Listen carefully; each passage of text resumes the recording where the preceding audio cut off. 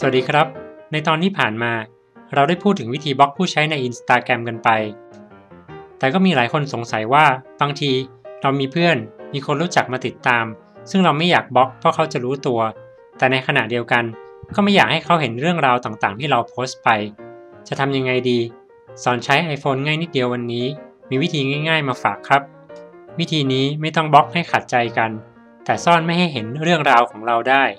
วิธีการก็ง่าย ๆ ครับ ในหน้าจอของแอป Instagram แตะบนรูปของผู้ใช้ที่จะบล็อก ในหน้าจอโปรไฟล์ที่แสดงขึ้นมา แตะไอคอนจุด 3 จุดมุมบนขวา แล้วแตะซ่อนเรื่องราวของคุณ เท่านี้ก็เรียบร้อยครับ เวลาจะยกเลิกการซ่อนก็ทำขั้นตอนเดียวกันครับ ด้วยการแตะบนรูปของผู้ใช้ ในหน้าจอโปรไฟล์ที่แสดงขึ้นมา